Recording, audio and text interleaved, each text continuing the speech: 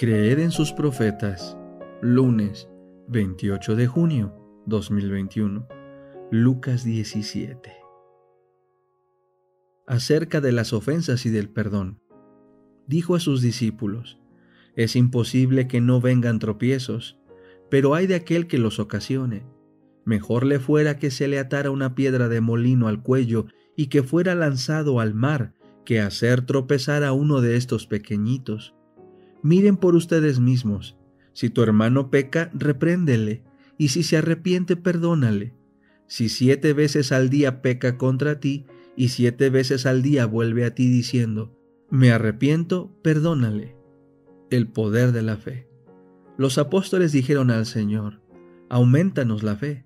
Entonces el Señor dijo, si tuvieran fe como un grano de mostaza, dirían a este sicómoro, desarráigate y plántate en el mar, y el árbol les obedecería. El deber del siervo. ¿Y quién de ustedes teniendo un siervo que ara o apacienta, al volver este del campo le dirá, pasa, siéntate a la mesa?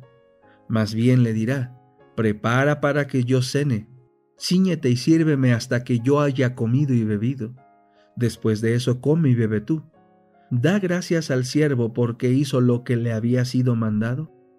Así también ustedes, cuando hayan hecho todo lo que se les ha mandado, digan, siervos inútiles somos, porque solo hicimos lo que debíamos hacer. Jesús sana a diez leprosos. Aconteció que, yendo a Jerusalén, pasaba por Samaria y Galilea. Cuando entró en una aldea, salieron a su encuentro diez hombres leprosos, los cuales se pararon de lejos, y alzaron la voz diciendo, Jesús, Maestro, ten misericordia de nosotros. Cuando él los vio, les dijo, Vayan, muéstrense a los sacerdotes. Aconteció que, mientras iban, fueron limpiados. Entonces uno de ellos, al ver que había sido sanado, volvió glorificando a Dios en alta voz, y se postró sobre su rostro a los pies de Jesús, dándole gracias. Y éste era samaritano. Y respondiendo Jesús dijo, ¿No eran diez los que fueron limpiados? ¿Y los nueve, dónde están? ¿No hubo quien volviera y diera gloria a Dios, sino este extranjero? Y le dijo, Levántate, vete, tu fe te ha salvado. El reino de Dios es actual. Y cuando los fariseos le preguntaron acerca de cuándo había de venir el reino de Dios, les respondió diciendo, El reino de Dios no vendrá con advertencia no dirán, miren, aquí está o allí está, porque el reino de Dios está en medio de ustedes. La manifestación del Hijo del Hombre.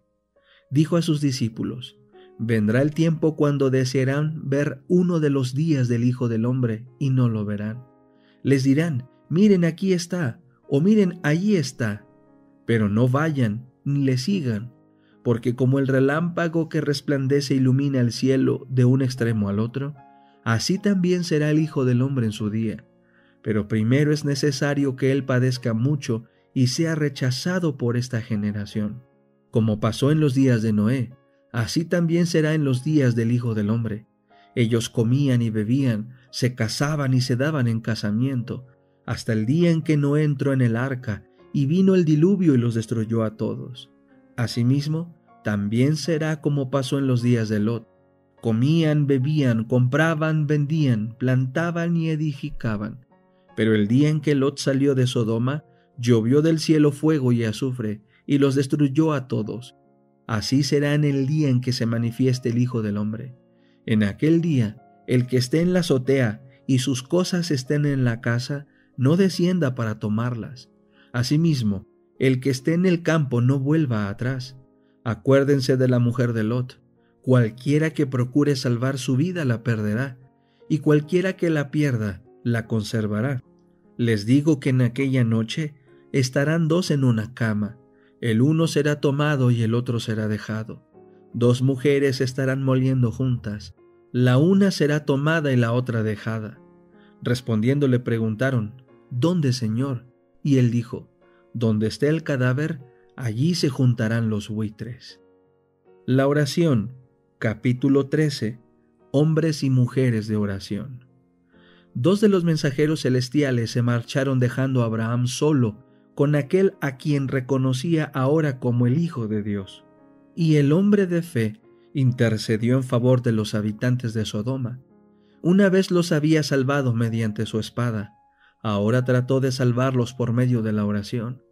Lod y su familia habitaban aún allí, y el amor desinteresado que movió a Abraham a rescatarlo de los elamitas, trató ahora de salvarlo de la tempestad del juicio divino, si era la voluntad de Dios.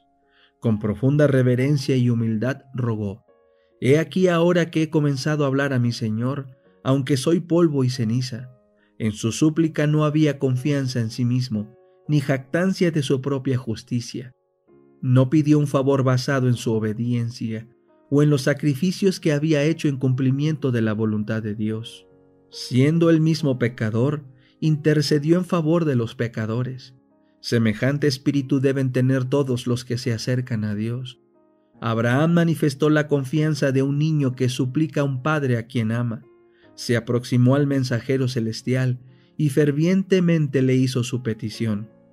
El amor hacia las almas a punto de perecer inspiraba las oraciones de Abraham.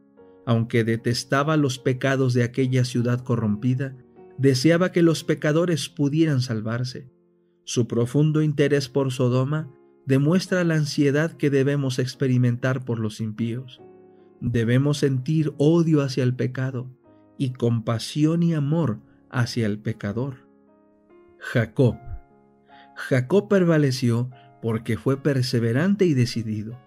Su experiencia testigua el poder de la oración insistente.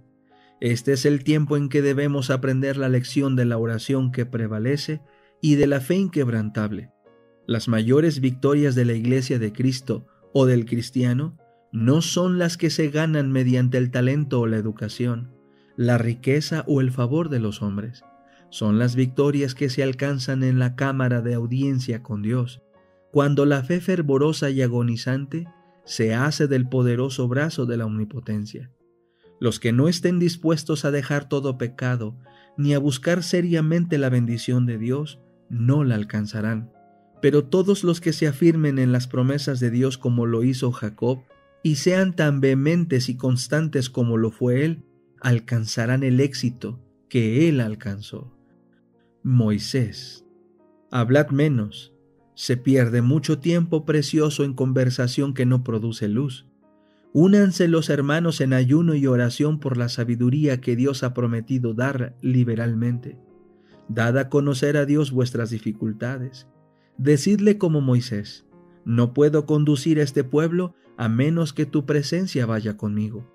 Luego pedid aún más, orad con Moisés. Ruégote que me muestres tu gloria. Éxodo 33, 18. ¿Qué es esta gloria? El carácter de Dios Así lo proclamó el Señor a Moisés. Moisés intercedió por Israel.